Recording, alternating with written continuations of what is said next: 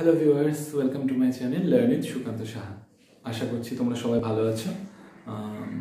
তো আজকে আমি তোমাদের সাথে আরেকটা নতুন গল্প ক্লাস টেনের বাংলা মিডিয়ামের ক্লাস টেনের যে ইংলিশ বইয়ের যে প্রথম গল্প ফাদার সেলফ সেই গল্পটা নিয়ে এসেছি। তো, সেই যে এই গল্পটা এই গল্পটা আর কে নারায়ণের লেখা। আর কে নারায়ণ হচ্ছেন, তার পুরো নাম ঋষিপুরম কৃষ্ণস্বামী নারায়ণ। তো এই আর কে নারায়ণ একজন খুব বিখ্যাত মানুষ, খুব বিখ্যাত একজন রাইটার মানে ভারতীয়দের মধ্যে যারা যারা ইংরেজি নিয়ে চর্চা করেছেন মানে ইংরেজিতে লেখালেখি করেছেন, তাদের মধ্যে অন্যতম একটি নাম হচ্ছে আর কে নারায়ণ তো তিনি খুব বিখ্যাত তার বিভিন্ন প্রচুর নোভেলস প্রচুর নভেল রয়েছে।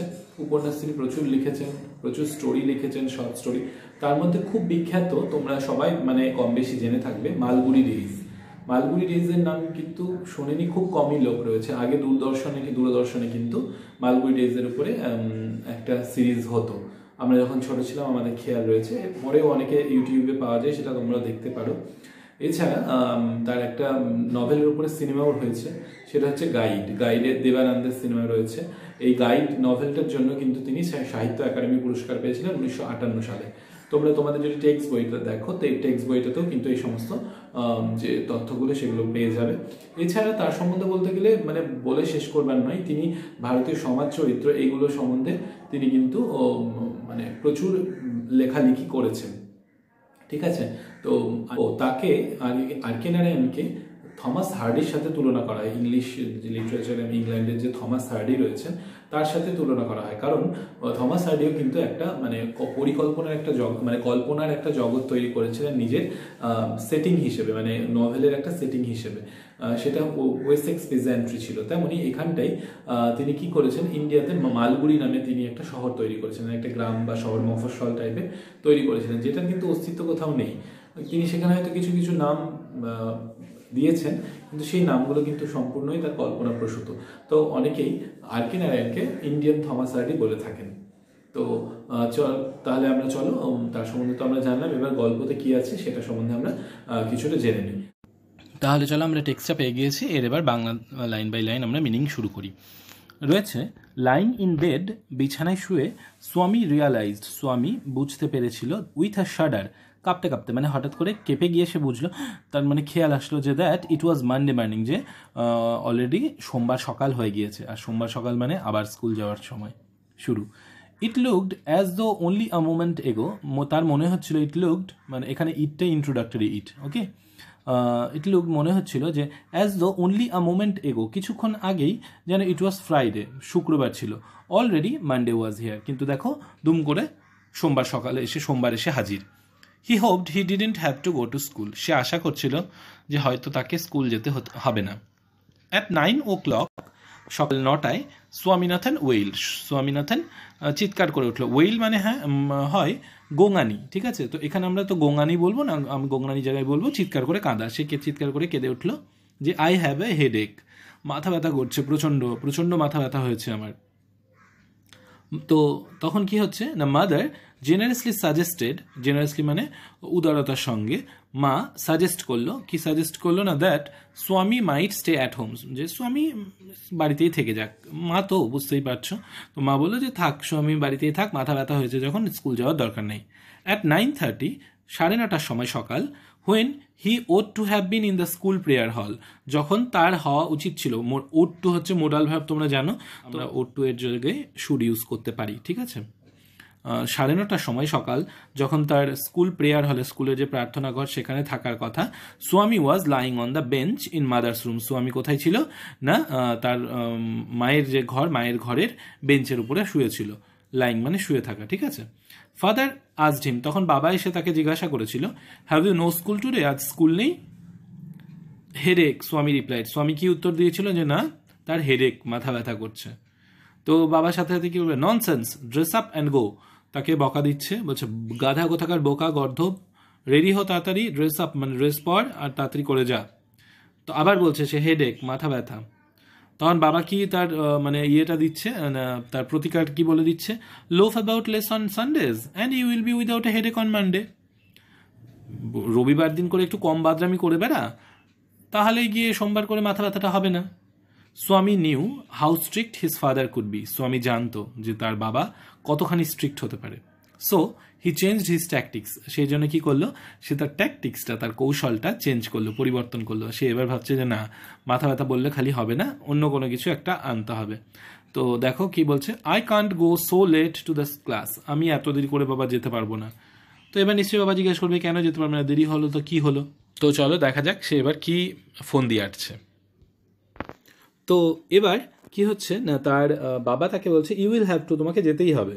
It is your own fault এটা তোমার নিজের ভুল সেই জন্য তোমাকে যেতেই হবে স্কুলে। যাই হোক না কেন। What will the teacher think if I go so late বাবা স্যার কি ভাববে? মাস্টারমশাই কি ভাববে যদি আমি এত দেরিতে যাই?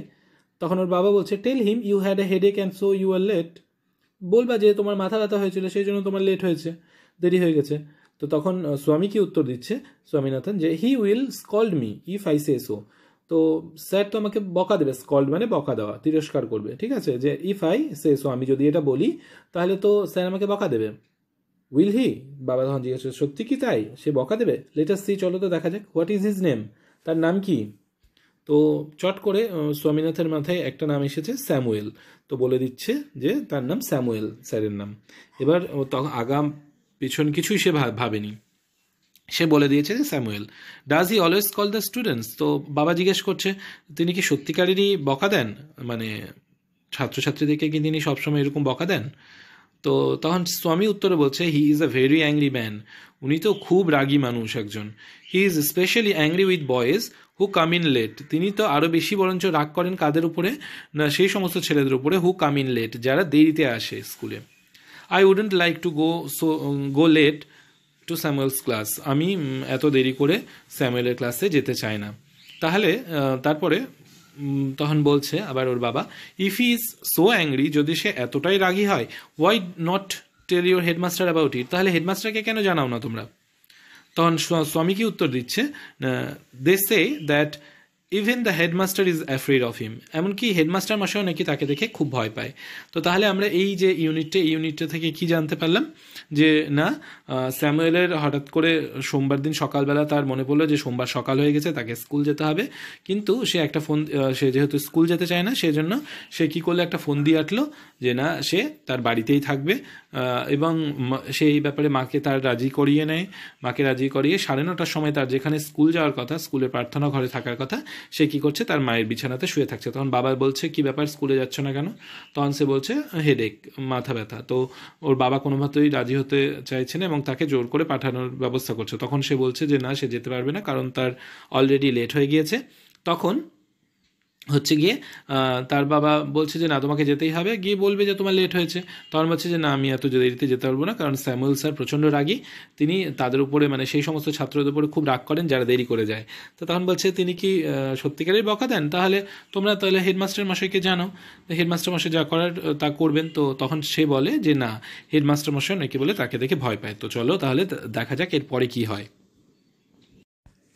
এবার দেখো, ইউনিট টুটা এখান থেকে শুরু হচ্ছে। তো ইউনিট টুয়ে আমরা কি দেখতে পাচ্ছি? Swami hoped that with this his father would be made to see what he must avoid school for the day মানে এইটা বলে সে ভাবছে যে হয়তো সে তার বাবাকে কনভিন্স করতে পেরেছে যে সে কি কারণে তার সেদিনের স্কুলটা অ্যাভয়েড করা উচিত। ঠিক আছে? But father's behaviour took an unexpected turn কিন্তু বাবার যে চরিত্রটা, সেটা হঠাৎ করে যেন একটা আনএক্সপেক্টেড মানে অপ্রত্যাশিত একটা টার্ন টুইস্ট নিয়ে নিল। মানে পুরোপুরিভাবে বাবার চরিত্রটা যেন বদলে গেল।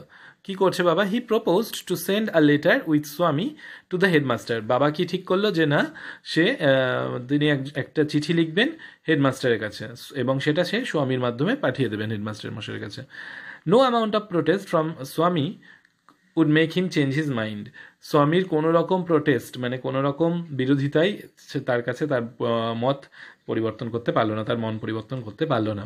তাহলে, তারপরে দেখো by the time Swami was ready to leave for school মানে তাকে তো এবার জবরদস্তি যেতেই হবে, সেই জন্য যখন সে রেডি হচ্ছিল father had composed a long letter to the headmaster বাবা। ততক্ষণে একটা বড় বেশ চিঠি লিখে ফেলেছে হেডমাস্টার মশাইয়ের জন্য। He put it in an envelope and seal it তিনি কি করেছেন? সেটাকে একটা এনভেলপের মধ্যে মানে খামের মধ্যে ঢুকিয়েছেন অ্যান্ড এটাকে সিল করে দিয়েছেন। তো এবার হচ্ছে গিয়ে তো এবার তো তাকে নিয়ে যেতেই হবে। তো নিয়ে যেতে যেতে সে কী করছে না, এবার তার আগে নিয়ে যাওয়ার আগে সে জিজ্ঞেস করছে what have you written father বাবাকে বলছে, বাবা, তুমি কি লিখেছো এর মধ্যে?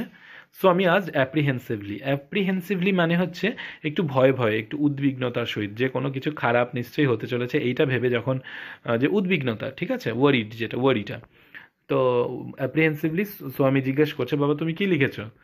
তো তখন ওর বাবা বলছে নাথিং ফর ইউ তোমার জন্য কিছু নেই। Give it to your headmaster and go to your class যাও, এটা গিয়ে হেডমাস্টার মশাইয়ের কাছে দাও এবং তুমি তোমার ক্লাসে চলে যাবা। Have you written anything about our teacher Samuel বাবা, তুমি কি আমাদের স্যামুয়েল স্যারের সম্বন্ধে কিছু লিখেছ? ইয়েস প্লেন্টি অফ থিংস হ্যাঁ অনেক কিছু লিখেছি। What has the done father বাবা, কী করেছে কারণ এবার হচ্ছে গিয়ে ও কি করেছে? নিজেই বলছে যে বকা দেয়। আবার নিজেই বলছে কি করেছ তার মানে সে যে সেখানটায় ঠিকঠাক কথা বলেনি স্যামুয়েলের সম্বন্ধে, সেটা আমরা এখান থেকে দেখতে পাচ্ছি। Everything is there in the letter চিঠিতে সমস্ত কিছু আছে give it to your headmaster তুমি গিয়ে শুধু হেডমাস্টার মশাইকে এটা দিয়ে দাও।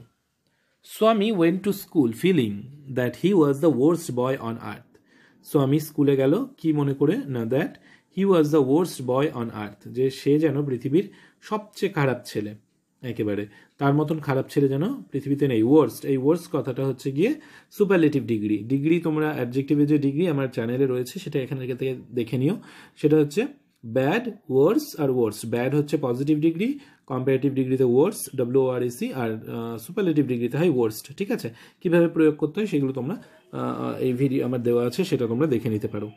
হিজ কনসাইন্স বোদার্ড হিম এই সময় তার কনসাইন্সটা তার যে অন্তরাত্মাটা, সেটা তাকে বোদার করতে লাগল, বিরক্ত করতে লাগল। সে তার আর ভালো লাগছিল না কোনো কিছু। কারণ সে মিথ্যা কথা বলেছে। He wasn't at all sure if his description of Samuel had been accurate সে মোটেও কিন্তু মানে শিওর ছিল না যে তার ডেসক্রিপশনটা সে যে বর্ণনাটা দিয়েছে অফ স্যামুয়েল স্যামুয়েলের যে বর্ণনাটা তার বাবার কাছে দিয়েছে হ্যাড বিন অ্যাকিউরেট সেটা যে অ্যাকিউরেট কি অ্যাকিউরেট না, ঠিক কি ঠিক না, সেটা নিয়ে কিন্তু সে সন্দিহান ছিল। তার মানে সে, তার নিজের মনের মধ্যেই ডাউট ছিল যে সেটা সে ঠিক বলেছে কি বলেনি। He felt he had mixed up the real and the imagined সে বুঝতে পারছিল যে সে একটা সত্যিকারের ঘটনাটা আর একটা ইমাজিন পরিকল্পনা একটা, সেই দুটোকে মিলিয়ে মিশিয়ে ফেলেছে। Swami stop on the road side to make up his mind about Samuel Swami কি কি করল না stop on the road side সে রাস্তার ধারে দাঁড়াল, দাঁড়িয়ে to make up his mind তার মনটাকে ঠিক করতে লাগল, মনস্থির করতে লাগল সে। দাঁড়িয়ে দাঁড়িয়ে যে সে কী করবে অ্যাবাউট স্যামুয়েল স্যামুয়েলের ব্যাপারে সে কি ডিসিশন নেবে সেই ব্যাপারের জন্য সে দাঁড়িয়ে দাঁড়িয়ে ভাবতে লাগল। Samuel was not such a bad man after all Samuel তো এতটাও বাজে লোক নয়। Personally he was much more friendly than the other teachers বরঞ্চ সে অন্যান্য টিচারদের থেকে আরও বেশি ফ্রেন্ডলি বন্ধুত্বপূর্ণ মনোভাবের। সে তেমন খারাপ নয়। Swami also felt Samuel had a special regard for him স্বামীর আরও মনে হতে লাগল যে স্যামুয়েল বরঞ্চ তাকে একটু বেশি যেন ভালোবাসে। মানে রাগা তো দূরের কথা স্যামুয়েলই যেন তাকে বেশি ভালোবাসে। সাধারণত যাদেরকে আমরা যা মানে আমরা যাদেরকে ভালোবাসি বা যারা আমাদের ভালোবাসে, তাদের নামটাই আমাদের মনে চলে আসে। তো সেই সময়ে কিন্তু ঝোঁকের বসে হয়তো তার সেই স্যামুয়েল স্যারের কথাই হয়তো মনে চলে এসেছিল এবং সেটাই সে বাবাকে বলে দিয়েছিল মিথ্যা কথার বলে। তো এই জন্য বলা হয় মিথ্যা কথা তেমন বলতে নেই নাহলে যখন তখন মিথ্যা কথাই বেরোয়। তো তারপরে দেখি Swami's head was dizzy with confusion তো এবার স্বামীর মাথাটা ভনমন করতে লাগল মানে ভেবে পাচ্ছে না, তার মাথাটা একেবারে ভো ভো করছে উইথ কনফিউশন মানে কনফিউশনে কনফিউশন হয়ে গিয়েছে পুরো। সে কি করবে ডিসিশন ঠিকঠাক নিতে পারছে না। হি কুড নট ডিসাইড সে ডিসাইডই করতে পারছে না। If Samuel really if Samuel really reserve the allegations made against him in the letter তার যে বিরুদ্ধে যে অ্যালিগেশনসগুলো দায়গুলো আনা হয়েছে মানে দোষারোপগুলো করা হয়েছে চিঠিতে সেইগুলো সে কি আদৌ ডিজার্ভ করে, কি করে না সেইগুলো বিষয়ে সে কিন্তু মোটেও ডিসিশন নিতে পারছিল না। The more he thought of Samuel যত সে স্যামুয়েলের ব্যাপারে চিন্তা করছিল দ্য মোর স্বামী গ্রিফট ফর হিম ততই স্বামীর মনে তার জন্য দুঃখ হচ্ছিল। To recall Samuel's dark face স্যামুয়েলের সে একটু একটু কালো চেহারাটা তার মানে তার বর্ণটা একটু কালো রঙের। তেমন সে ফর্সা ছিল না তার dark face his thin moustache তার সে পাতলা গোফ আনশেভেন চিক দাড়ি না কাটা গাল অ্যান্ড ইয়েলো কোট এবং সেই হলুদ রঙের কোটটা ফিল স্বামীনাথন উইথ সরো সেটা স্বামীনাথনকে যেন দুঃখে ভরে দিচ্ছিল। মানে তার মনটাতে পুরো দুঃখে ভরে গিয়েছিল যে সে কি করে ফেলেছে এবার। তাও তাহলে চলো তারপরের ইউনিটটাতে দেখা যাক কি হচ্ছে। তাহলে দেখো, ইউনিট থ্রি শুরু হচ্ছে। As he enter the school gate যেই না সে স্কুলের গেটে ঢুকছে। An idea occur to him তো তার মাথায় একটা আইডিয়া আসে যে সে কি করবে। He would deliver the letter to the headmaster at the end of the day সে কি ভাবলো? যে না, যেমন করে হোক, চিঠিটা এখন দেওয়া যাবে না। একদম এন্ড অফ দ্য ডে দিনের শেষে গিয়ে সে হেডমাস্টারের কাছে চিঠিটা দেবে। There was a chance Samuel my do something during the course of the day to justify the letter হয়তো এইটুকুনিটা সময়ের মধ্যে, সেই একটা দিনের মধ্যে স্যামুয়েল হয়তো বা তাকে কিছু এমন করতে পারে, যেটা সেই চিঠিটাকে জাস্টিফাই করবে। ঠিক আছে? তো Swami stood at the entrance to his class তো স্বামী গিয়ে তার ক্লাসের দরজার সামনে গিয়ে দাঁড়াল। Samuel was teaching arithmetic Samuel সেই সময় অঙ্ক করাচ্ছিল, পাটিগণিত করাচ্ছিল। ঠিক আছে? হি লুকড অ্যাট স্বামী তো এবার স্যামুয়েল স্বামীর দিকে তাকালো। স্বামী হোপ স্বামী আশা করছিল যে Samuel would scold him severely যে স্যামুয়েল হয়তো এবার তাকে খুব বকা দেবে। তো স্যামুয়েল কি বলছে সেই জায়গায়? বলছে you are half an hour late Samuel said Samuel বলছে, তোমার তো আধ ঘণ্টা লেট হয়ে গিয়েছে। মানে পুরোপুরিভাবে অপ্রত্যাশিত একটা উত্তর। যে সে তার বকাঝকা দেবে কি, তার জায়গায় বলছে যে, কী ব্যাপার, তোমার তো আধ ঘণ্টা লেট তাহলে চলো পরেরটা দেখে নিই। তো তখন সে বলছে I have a headache sir Swami said Swami বলছে স্যার আমার মাথা ব্যথা হয়েছিল। Then why did you come at all তাহলে আসলে আসলা কেন স্কুলে মানে পুরোপুরিভাবে অপ্রত্যাশিত, সে ভাবতেও পারছে না যে এগুলো কি। This was an unexpected question from Samuel এটা তো একটা আনএক্সপেক্টেড একেবারে অপ্রত্যাশিত প্রশ্ন স্যামুয়েলের কাছ থেকে যে আসলে কেন তাহলে? বাড়িতে থাকতে পারতে। স্বামী সেট স্বামী বলেছিল my father said I shouldn't miss school sir বাবা বলছে যে আমার স্কুল মিস করা উচিত নয়। স্যামুয়েল লুকড ইমপ্রেস তো স্যামুয়েল তো এটাতে আরও ইমপ্রেস হয়ে গিয়েছে। তো তখন your father is quite right তখন সে স্যামুয়েল বলছে, তোমার বাবা একদম ঠিক বলেছে। We want more parents like him আমাদের এরকম গার্জেন এরকম পিতামাতা আরও চায় যারা ছাত্রছাত্রীকে বলে যে না, স্কুলে যাওয়া উচিত। ও ইউ পুয়ার ম্যান হাইরে তুমি হাইরে বেচারি লোক। স্বামী থট স্বামী মনে মনে বলতে লাগল হাইরে বেচারি you don't know what my father has done to you তুমি তো জানো না, আমার বাবা তোমার কি সর্বনাশ করে দিয়েছে। All right go to your seat তো তখন স্যামুয়েল বলছে, যাও, ঠিক আছে, গিয়ে বসে পড়ো তোমার জায়গায়। স্বামী স্যাড ডাউন স্বামী বসে পড়ল ফিলিং স্যাড কিন্তু তার মনটা দুঃখিতই হয়ে রইল। সে দুঃখ পাচ্ছে খুব মানে তার দুঃখ হয়েছে। He had never met anyone as good as Samuel স্যামুয়েলের মতন এত ভালো সে কোনোদিনও কাউকে দেখেনি। The teacher was inspecting home lessons এবার স্যার কী করছিলেন না, বাড়ির পড়া চেক করছিলেন। তো স্বামীজ থিঙ্কিং স্বামীর পরিকল্পনা মাফিক বা চিন্তা মাফিক this was the time when Samuel got most angry এই সময়ে স্যামুয়েল তার মানে বেশি রেগে যাবে। But today Samuel appeared very gentle কিন্তু বর্তমানে আজকে হঠাৎ করে স্যামুয়েলকে যেন অ্যাপিয়ার্ড মানে স্যামুয়েলকে দেখা ছিল খুবই জেন্টল সে খুব, খুবই কোমল ব্যবহার করছিল সবার সাথে। Swaminathan where is your homework তো এবার স্বামীনাথনের যখন টার্ন এসছে, তখন স্বামীনাথনকে বলছে যে স্বামীনাথন তোমার হোমওয়ার্ক কই? I have not done my homework sir sir আমি তো বাড়ির পড়া করে আনতে পারিনি। স্বামী সেইট স্বামী বলছে। ওয়াই হেডেক কেন? ও, মাথা ব্যথা। আজ স্যামুয়েল স্যামুয়েল নিজে বলেই নিজেই জিজ্ঞে উত্তরটা দিয়ে দিচ্ছে। আচ্ছা মাথা ব্যথা? ইয়েস স্যার হ্যাঁ sir all right sit down যাও। ঠিক আছে, বসো। স্যামুয়েল, স্যার, স্যামুয়েল বলছে, যাও, ঠিক আছে, বসো।